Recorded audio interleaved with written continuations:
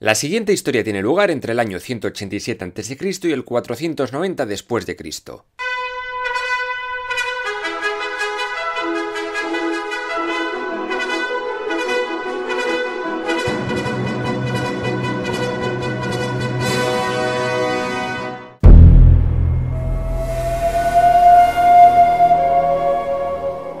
En el año 187 a.C., el gran imperio construido por los Maurya cayó y la India quedó dividida en diversos estados. La parte norte pasó a estar gobernada por la dinastía Sunga, una familia brahmánica, después de que su líder Pusyamitra asesinara al último rey Maurya. Este Sungo general y ferviente brahman ortodoxo se dedicó a perseguir a la herejía budista. Con el paso de los siguientes reyes parece que esto se fue relajando y levantaron la famosa estupa de Barhut, en el estado de Madhya Pradesh. Los Sungas no podían permitir que otros reinos le robasen territorio, así que el rey Agnimitra pasó del karma y esa mierda y se dio de leches contra los indogriegos del rey Menandro I Soter por el oeste, contra los Kalinga del rey Jarabela en la zona este y contra el reino Satavahana de Satakarni I cuya capital estaba en Pratistana, a orillas del río Godavari, actual Paitán. Estos satavahanos eran hinduistas, aunque apoyaron bastante el budismo y crearon santuarios en cuevas, como el santuario de Baja, un conjunto de 18 grutas con decoración budista, y el santuario de Carly, con una fachada decorada con parejitas dándose amor y otras cosas, y capiteles de elefantes en el interior, en la chaitia o sala de culto, al final de la cual había un pequeño estupa. ¡Ay, qué bonito!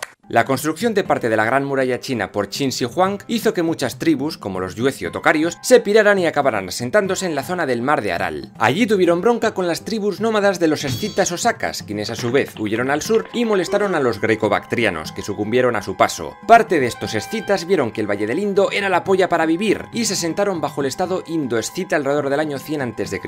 Estos escitas fueron poco a poco penetrando en el norte indio, mientras los Sunga cedían el gobierno de su reino a la dinastía Kanua. Esta época de caos vio el nacimiento en la parte occidental del Turkestán del reino de Kusan alrededor del año 30 después de Cristo, de la mano de los antiguos tocarios. Entre los años 100 y 150, el rey Kaniska I se cargó a los partos y ascitas y conquistó el norte indio. Estos Kusana fueron una dinastía poderosa que adoptó el budismo y continuó con la tradición artística que habían dejado los Maurya. Tan dramático no lo veo. Es en esta época cuando el budismo Theravada, que decía que la iluminación estaba solo al alcance de unos pocos, prohíbe las imágenes de Buda. Sin embargo, tiempo después, en el 150 después de Cristo aproximadamente, el rey Kaniska I convocó el concilio budista de Jalandapura en Cachemira, donde estos kusanas crearon un cisma en esta religión, el budismo Mahayana. Esta nueva visión del budismo proponía que todo el mundo podía convertirse en budista y que era buena idea darlo a conocer en el extranjero. Dicho y hecho, el budismo comenzó a hacerse muy popular en China y hasta en Japón. Aquí comenzaron sus representaciones con formas antropomorfas. Todo esto fue posible gracias al comercio. Las caravanas exportaban e importaban productos al extranjero a través de la ruta de la seda e incluso por mar, siendo un puerto importante el de Brigucacha, actual Baruch. ¡Qué bien! ¡Gracias! Muchos artesanos se agruparon por oficio, formando gremios, que regulaban la calidad y el precio. Los que más pasta ganaron fueron los alfareros, los carpinteros y los dedicados al metal, y se llenaron sus bolsillos con las antiguas monedas que estos reyes pusieron en circulación. Las especias, el oro, las piedras preciosas o la madera de sándalo abundaban en el sur, lo que captó la atención de muchos norteños, y también de los yavanas, nombre con el que conocían a los extranjeros, en especial a griegos y romanos. Parece que estos exportaron alguna leyenda sobre Buda, que luego en Canaán se adaptaría a la figura de Jesucristo, pero ya hablaré de esto en otro vídeo. Eso sí, cuando el apóstol Santo Tomás llegó a la India predicando el cristianismo por el año 50, acabó atravesado por una lanza en Mailapor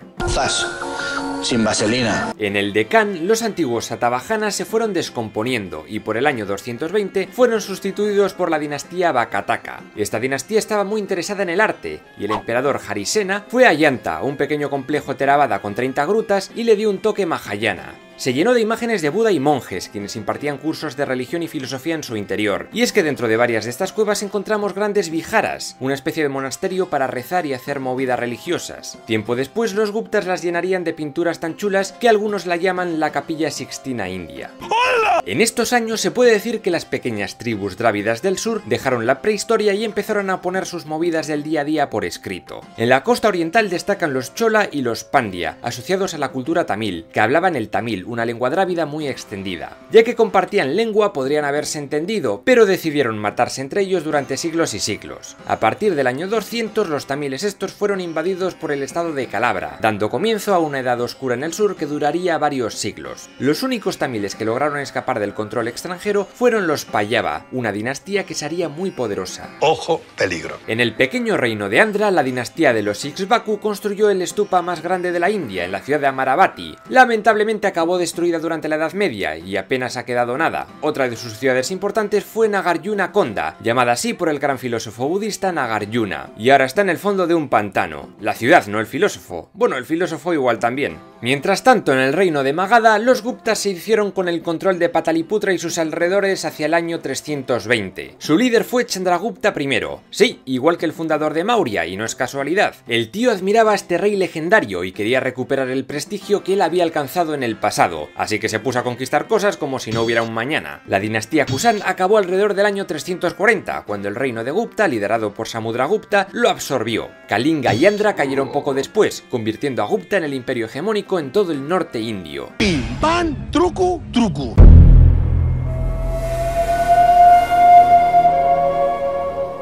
La dinastía Gupta dominaba el norte y es en este momento cuando se puede decir que comienza el auge del clasicismo indio, donde cultura, arte y política alcanzaron gran desarrollo y la religión hindú se impuso en la mente de los indios. Fue una época con bastante paz y tolerancia y la economía floreció un montón gracias al comercio con otros países por la ruta de la seda. Entre los Guptas del norte y los Vakataka del centro hubo muy buenas relaciones. De hecho, el rey Chandragupta II casó a su hija, la princesa Pravati Gupta, con el rey Vakataka Rudrasena II. En el 390 este rey murió y por problemas de sucesión la princesita esta estuvo 20 años de regente. Vamos, que Vakataka fue durante un tiempo, al menos virtualmente, parte de los Gupta. Salvo excepciones como esta, las mujeres indias nunca gozaron de igualdad y se sabe que en algunas tribus, cuando el marido moría en la guerra, se quemaba también a la viuda para que no sufriera. ¿Qué dice usted? Sí, era una práctica llamada sati que fue abolida en 1920, aunque parece que todavía quedan algunos quemaviudas sueltos por ahí. En ciencias destacó Aryabhata, un matemático matemático y astrónomo al que se le considera el gran difusor del sistema decimal, incluyendo al número 0. Gracias a los árabes, esta numeración llegó a Occidente, que evolucionó en los números que conocemos ahora. El juego de mesa chaturanga se hizo muy popular, y con el paso de los siglos de aquí saldría el ajedrez actual.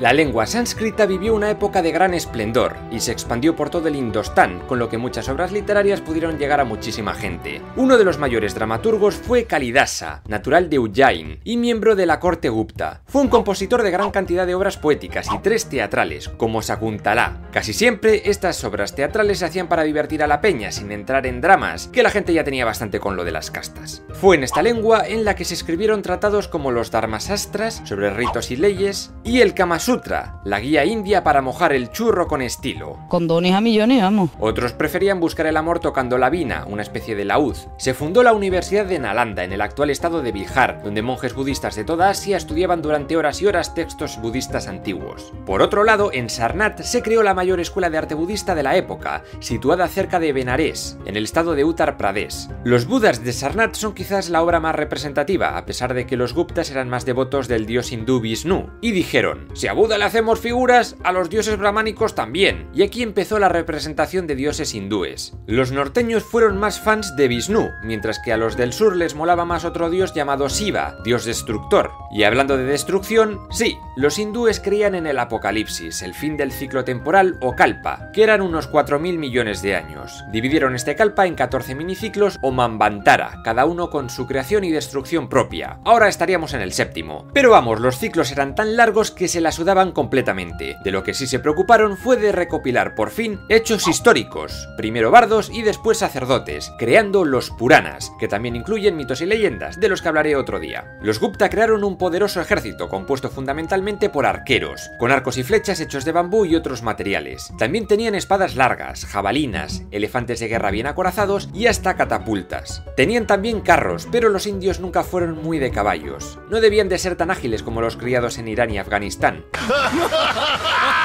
Y para moverse por mar tenían una flota de unos mil barcos, pero tampoco fue determinante en sus conflictos. Sí que con ellos exportaron su cultura a gentes de Indonesia, concretamente a la isla de Java llegó el budismo, y fijaos si lo petó que estos tíos le construyeron a Buda la gran estupa de Borobudur tiempo después, por el año 700. Esta enorme construcción tiene más de 2.000 relieves sobre la cosmogonía budista, 500 estatuas de Buda y 30 leones resguardando la entrada, así como unas cuantas mini estupas decorando la cima y un sistema de drenaje para la lluvia. Mientras allá lejos el budismo era la moda, entre los Guptas su popularidad fue descendiendo y sus gentes retornaron a antiguos cultos populares, sobre todo el brahmanismo, que se convertiría en la religión hinduista. En poco tiempo la gran mayoría de los indios abrazaron a los dioses hinduistas y dieron la patada a Buda, que sobrevivió solo en la zona norte. De hecho, en la actualidad en la India los budistas no pasan del 2%. Estos budistas del norte influenciaron a los tibetanos, quienes crearon el budismo lamaísta. Hasta ese momento, estos tibetanos tenían unas creencias animistas chamanescas llamadas Bon.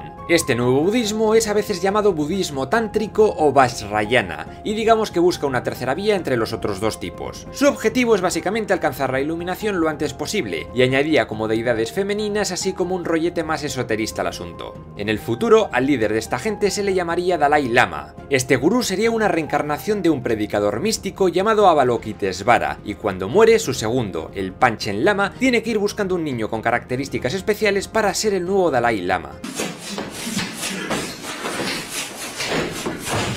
Hacia el año 350, tribus nómadas venidas de Asia Central empezaron a llegar a cuentagotas a la parte del Turquestán. Eran los hunos, concretamente la rama de los hunos blancos o heftalitas. Durante un siglo, los guptas lograron contenerles, pero en el año 490 la situación se volvió insostenible, y esta dinastía india se fue a tomar por el culo. El objetivo de este canal es resumir toda la historia de la humanidad de principio a fin. Si te gusta, no dudes en suscribirte. Si te gusta mucho, no dejes de compartir los episodios en redes sociales. Y si directamente te flipa, puedes apoyar el canal en Patreon, donde tendrás acceso a material exclusivo y sorteos varios.